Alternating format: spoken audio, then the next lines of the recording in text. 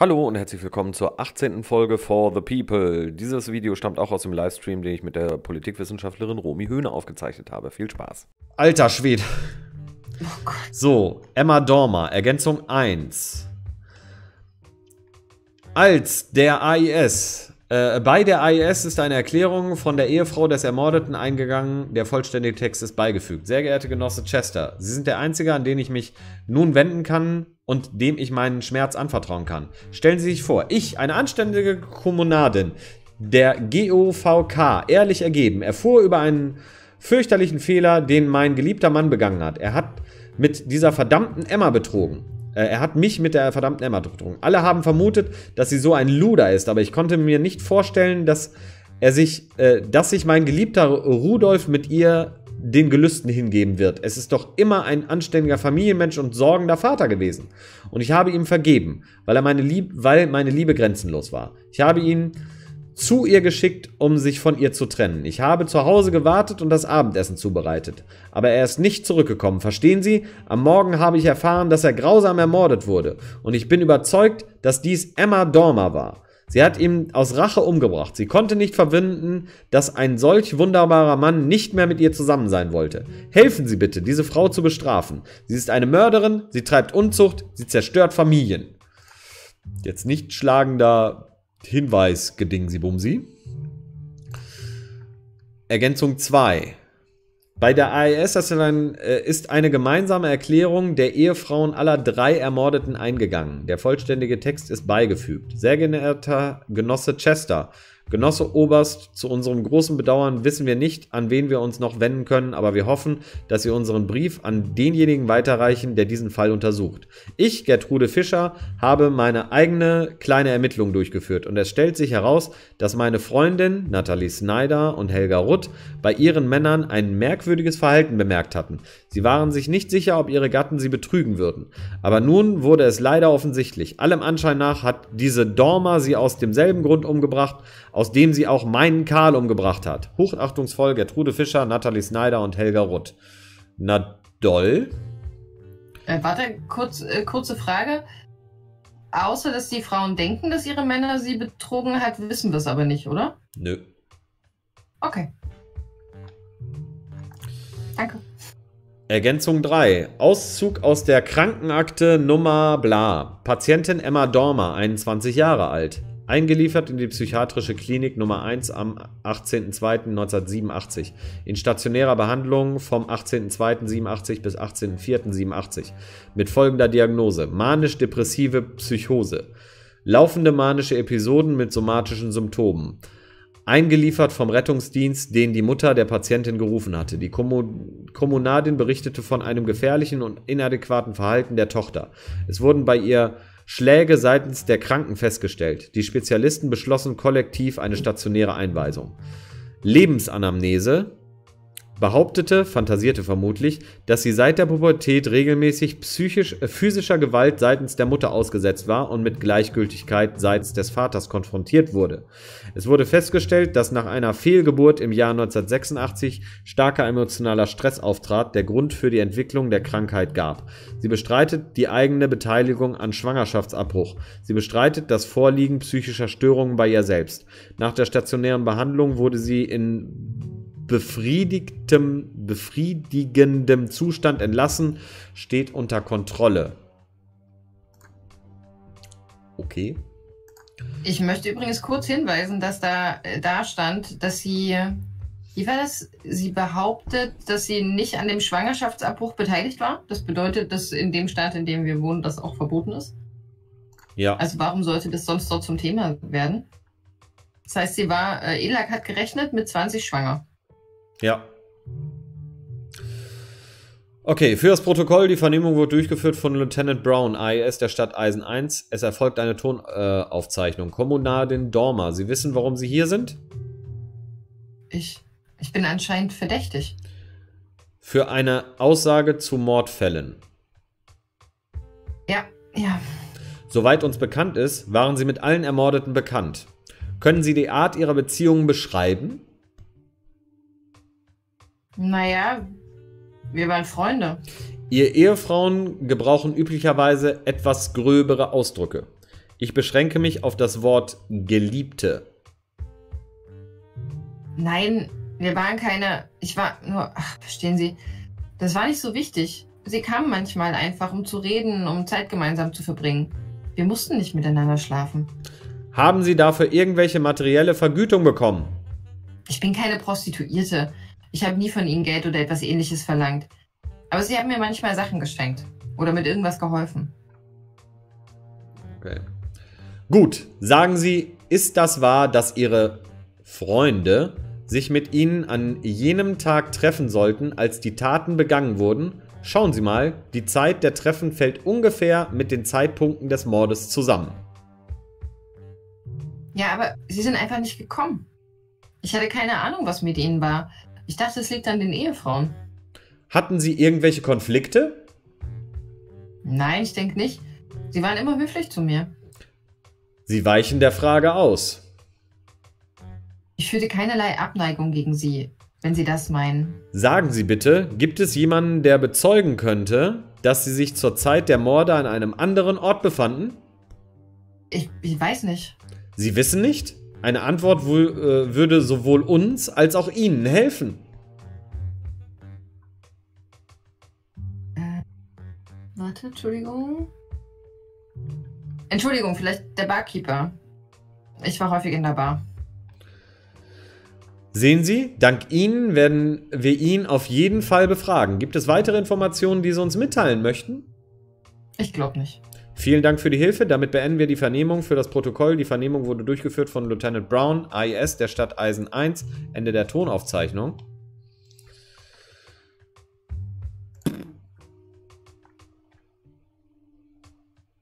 Okay. Anna Turner.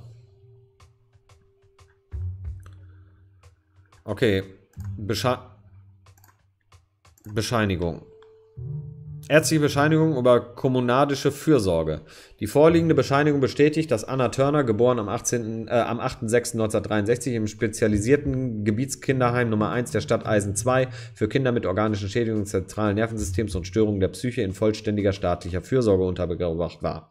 Eingewiesen ins Kinderheim Nummer 1 am 24.11.73 auf Beschluss einer Kommission nach psychopathologischer Untersuchung. Die Spezialisten berücksichtigten die starke emotionale Erschütterung aufgrund des tragischen Todes der Eltern sowie eine Reihe von Panikattacken, die später bei der Interaktion mit Männern höheren Alters äh, bemerkt wurden. Die Mutter der Minderjährigen starb an inneren Blutungen, festgestellt im Laufe der Obduktion. Äh, der Vater der Minderjährigen starb infolge einer akuten Alkoholvergiftung. Ne Was ist denn in unserem, in unserem Staat los, dass wir da so, so unendlich viel Gewalt in den Familien haben? Weil die Familie, die sie adoptiert hat, ist ja, sind ja die Eltern von Emma Turner, die ja wiederum auch gequält worden ist von ihrer Mutter. Ja, also irgendwie ist hier was durcheinander. Anlage 4. Ja. Äh, achso, nee, das war die Information mit den Stuck, äh, Schmuckstücken. Diese Gegenstände wurden von den Ehemännern der Adoptivmutter der Kommodarin Turner angefertigt. Die Verdächtige behauptet, dass sie diese an einen Spekulanten verkauft habe, der ihr Geld für die Beerdigung ihrer Mutter fehlte. Sie arbeitet im städtischen Krankenhaus. Sie hatte gute Empfehlungen, ist Mitglied der, des Amateurruderclubs. Ähm, ja, also das war die Bescheinigung. Nun Ergänzung. Moment. Anlage 4. Die Bescheinigung hatten wir jetzt gerade. Anlage 4. Ergänzung 1 zur Anlage 4. Auszug 1 aus der Akte zum Selbstmord der Leslie Turner. Die Ermittlung nimmt an, dass der Selbstmord aufgrund einer Reihe persönlicher und beruflicher Misserfolge geschah. Die Befragung einer enger Freunde und Verwandter hat ergeben, dass die Kommunadin Leslie Turner nach dem äh, Posten des Leiters des Stadtkomitees von Eisen einstrebte, wobei sie eine Niederlage erlitt. Außerdem be treute sie einige Frauen mit dem Ziel ihrer Beförderung auf hohe Posten. Allerdings wurden die Posten, die von den, äh, den Kommunadinnen Jane Wood, Marcy Royce und Cla äh, Clary Royman eingenommen werden sollten, mit den Kommunaden Arnold Snyder, Karl Fischer und Rudolf Rutt besetzt. Das sind die Ermordeten. Wollte ich auch gerade, das sind die Ermordeten. Auszug 2 aus der Akte zum Selbstmord von Leslie Turner. Im Verlauf der Ermittlungen wurde die Tatsache bemerkt, dass kurz vor dem Tod der Kommunardin Leslie Turner der Kommunade Hans Weber, Anwärter auf den Posten des Leiters des Stadtkomitees, infolge einer schweren Erkrankung im Krankenhaus verstarb. Verbindungen zwischen diesen Vorkommnissen wurden nicht festgestellt. Es wurde gefolgert, dass dies ein Zusammenfallen der Ereignisse ist. Materialien äh, vorgelegt vom Genera äh, Genosse Karl Strasser, Ermittler im Fall des Selbstmordes der Genossin Leslie Turner. Uh, Vernehmung. vielleicht war das, vielleicht war das gar kein Selbstmord. Okay, Vernehmung. Für das Protokoll. Die Vernehmung wird durchgeführt von Lieutenant Brown, AES der Stadt Eisen 1. Es verfolgt eine Tonaufzeichnung. Kommunalin Turner, Sie wissen, warum Sie hier sind? Ja, für eine Aussage. Für das Protokoll. In welcher Sache? In der Sache der Morde an den Parteifunktionären. Danke. Kommunalin Turner, sagen Sie bitte, wo Sie an den Tagen der Woche der Morde waren. Ich war zu Hause. Kann das jemand bestätigen? Das weiß ich leider nicht. Sagen Sie bitte, ob Sie die Opfer gekannt haben. Ich kannte sie nicht. Nur meine, meine Mutter hat einige Male ihren Namen erwähnt, da sie von der Arbeit erzählt hat. Mein Beileid. Hier, nehmen Sie das Taschentuch. Ja, danke. Vielen Dank. Können Sie bitte genauer sagen, worüber sie gesprochen hat? Wie Sie wahrscheinlich wissen, wurde vor, wurden vor kurzem umfangreiche personelle Veränderungen im Zusammenhang mit der Politik des neuen Kurses durchgeführt. Meine Mutter unterstützte Kandidatinnen für einige Parteifunktionen, aber sie wurden nicht genommen. Gut, können Sie erzählen, wie die, äh, wie die Ihnen gehörenden Schmuckstücke in die Nähe der ermordeten Opfer kamen? Ich habe sie einem Aufkäufer von Antiquitäten verkauft, weil mir Geld für die Beerdigung fehlte. Aber wer sie dann bekommen hat und warum er sie am Tatort zurückgelassen hat, weiß ich nicht. Tut mir leid. Erzählen Sie etwas über diesen Ankäufer. Wie sah er aus? Wie haben Sie ihn getroffen? Was wissen Sie über seinen Aufenthaltsort? Ich habe ihn zufällig kennengelernt, auf dem Markt. Ein mittelgroßer Mann mit dunklen Haaren und glatt rasiertem Gesicht. Er fragte zurückhaltend, ob ich nicht etwas Geld verdienen möchte. Und ich brauchte gerade Geld. Seitdem habe ich ihn nicht mehr gesehen. Vielleicht haben Sie irgendeine Information, die nützlich sein könnte? Ähm, warte, wo bist du gerade? Verzeihung, ich sehe es gerade nicht. Achso, da unten. Äh, nein, ich denke nicht, Entschuldigung. Das macht nichts. Danke für Ihre Hilfe für das Protokoll. Die Vernehmung wurde durchgeführt von Lieutenant Brown, AES der Stadt Eisen 1. Ende der Tonaufzeichnung. Könnte es auch sein, dass irgendjemand versucht, dir was in die Schuhe zu schieben? Ja. Ja. Also momentan habe ich den Eindruck, es sind viel zu viele große blinkende Pfeile, die auf sie zeugen. Ja. Und aber also so richtig ins Stutzen gekommen bin ich jetzt eigentlich, weil irgendwer sie total zufällig auf der Straße angesprochen hat und gefragt hat, ob sie sich nicht Geld verdienen will mit. Also wie kommt man dazu, irgendwen anzusprechen? Also verstehe nicht. Und eine Sache ist auch krass. Eine Sache ist wirklich krass. Diese Geschichte mit ihrer Mutter. Sie hat angestrebt, statt Kommissionsdingens zu werden. Sie hat versucht, in der Partei Leute nach oben zu bringen. Und das kam alles während der Zeit, wo es diese Politik der Verjüngung gibt. Und gestorben. Mhm. Nee. Ihre Adoptivmutter. Es ging hier um ihre Adoptivmutter. Ergänzung. Genossin Leslie Turner. Wie war das denn nochmal? Ihre Adoptivmutter ist doch Leslie Turner. Und die ist doch vor nicht allzu langer Zeit hat die Selbstmord begangen, oder? Ich bin auch gerade ein bisschen verwirrt. Bin Aber total ihre äh, verwirrt. leibliche Mutter ist ja schon lange tot. Ja, genau, 73. Also vor 15 Jahren. Könntest du kurz nochmal, also ist die Emma Dormer nicht ihre Stiefschwester? Ihre Stiefschwester, wie kommst du drauf? Ich habe keine Ahnung. Aus irgendwelchen Gründen, ich weiß es auch gerade nicht, ich bin gerade verwirrt. Wahrscheinlich ist das gerade Quatsch. Okay, aber mal unabhängig jetzt davon, in welchem Verwandtschaftsgrad die jetzt äh, stehen. Es wirkt irgendwie ganz schön konstruiert in ihre Richtung. Ja. total konstruiert in, diese, äh, in ihre Richtung. Ja, ich denke auch, dass Anna Turner hier irgendwie. Ähm, jemand wollte diese Parteifunktionäre loswerden und Anna Turner ist super als Sündenbock. Mhm. Ich bin gespannt, was jetzt kommt, wenn wir es zumachen. Ich spekuliere übrigens, äh, dass Emma Dorner es gewesen sein könnte, weil vielleicht ist sie eine Spionin von wem auch immer und hat versucht, die auszuhorchen. Oder irgendwer anders war es, damit sie ihr nichts erzählen, weil sie ja immer mit den Herren geredet hat.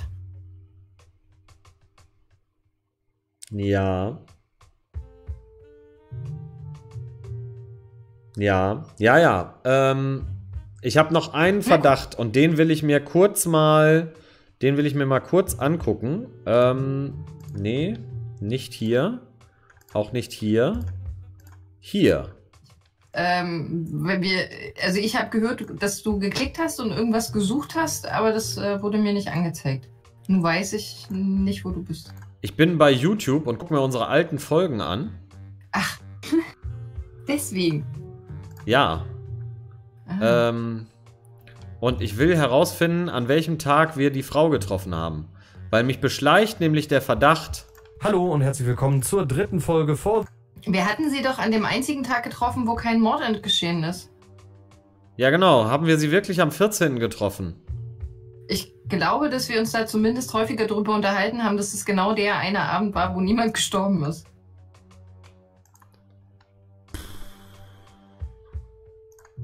Ich finde das jetzt auf die Schnelle nicht. Okay, machen wir zu und gucken mal, was wir haben. Mhm.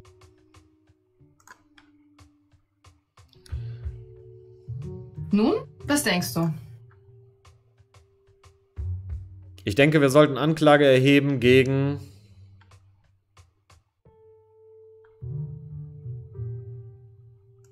Puh. Oh Mann. Ja. Also weiter ermitteln, ja, aber gleich Anklage erheben? Tja. Okay, Ausschlussverfahren.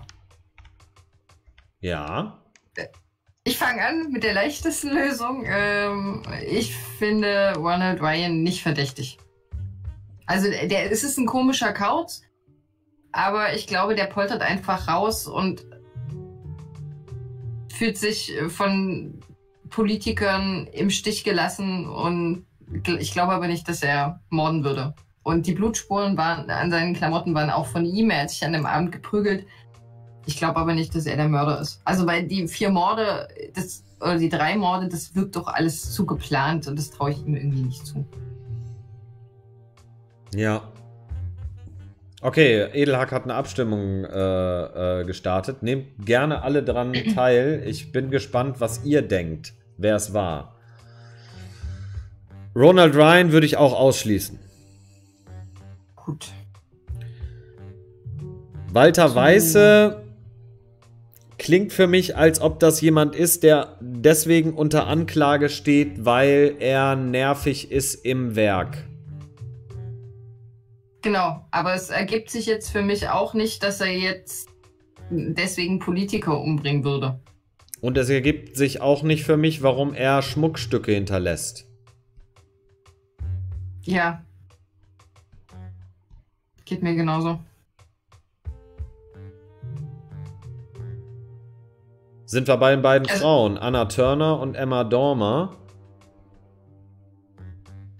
Anna Turner besaß die Schmuckstücke und hat sie verkauft. Nach Mhm. eigener Aussage.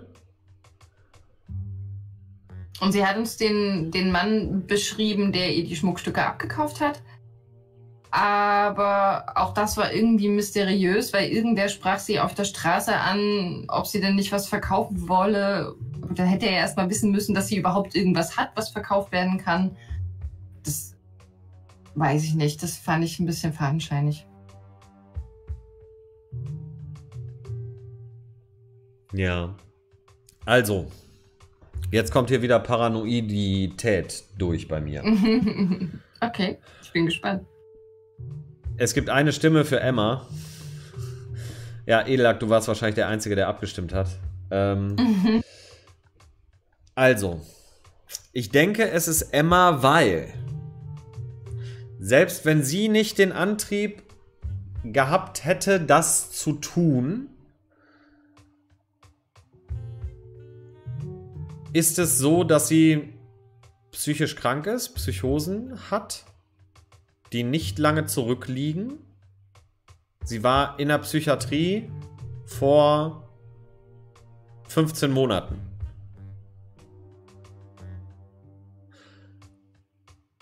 Sie war in der Psychiatrie. Und der Arzt hängt mit, der, mit den Chesters mittendrin. Mm. Oha.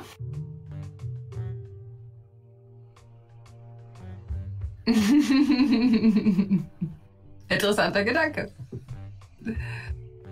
Warum nicht hochgestellte Parteifunktionäre ausschalten, um die Macht zu, äh, zu, äh, zu festigen? Weil mein Problem ist halt, sowohl bei äh, Emma Dormer als auch bei Anna Turner fehlt mir ein klein wenig das, also das Motiv ist halt bei Anna Turner, ihre Mutter, die Selbstmord begangen hat, hat schlecht über diese Männer gesprochen, aber Anna ist fertig mit der Welt. Weiß ich nicht, ob sie sowas getan hat. Emma Dormer, der nehme ich das ab, dass sie mit denen gesprochen hat, dass sie Anlaufstelle war, äh, dass sie mit, dass sie vielleicht auch Sex hatte. Ja, mein Gott, aber diese Männer, äh, dass sie ihnen etwas geboten hat, was sie zu Hause nicht bekommen haben. Es, es erschließt sich mir nicht, warum Anna Turner Schmuckstücke hätte liegen lassen sollen. Es erschließt sich mir nicht, warum Emma Dormer Schmuckstücke hätte äh, dort äh, liegen lassen sollen.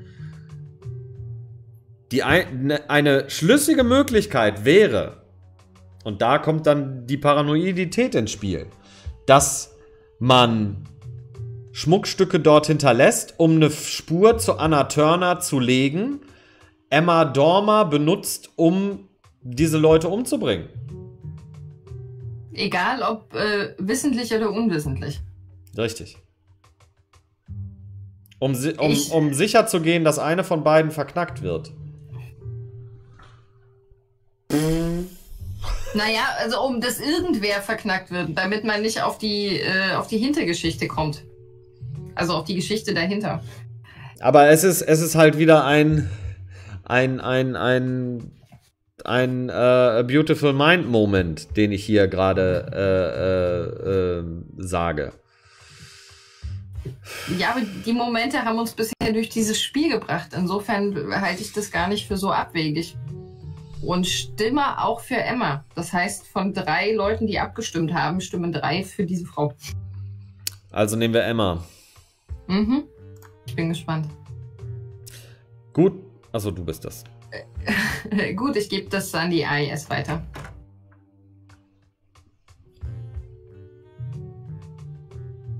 Ich weiß nicht, ey.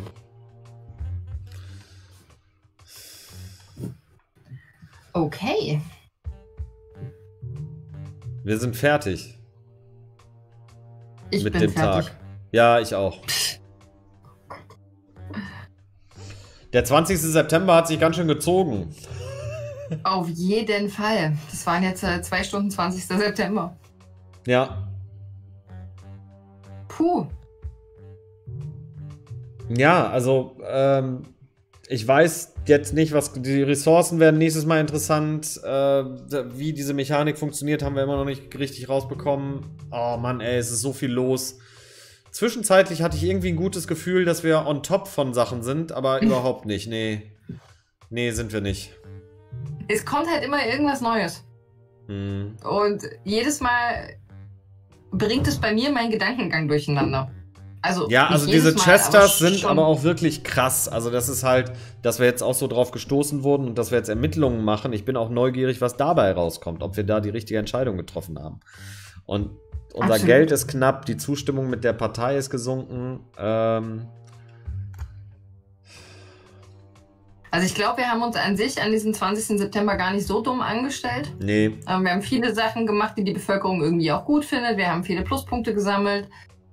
Ähm, so im Grundsatz bin ich zufrieden und bin sehr, sehr gespannt, wie es weitergeht mit Emma Turner und der Mordaufklärung. Das war es erstmal für diese Folge von For the People. Herzlichen Dank fürs Zugucken. Lasst gerne ein Like da, schreibt einen Kommentar und schaut auch gerne dienstags auf twitch.tv slash andere Lampe vorbei. Da treffen sich Romy und ich immer zur Dienstagspolitik. In jedem Fall einen zauberhaften Tag. Tschüss!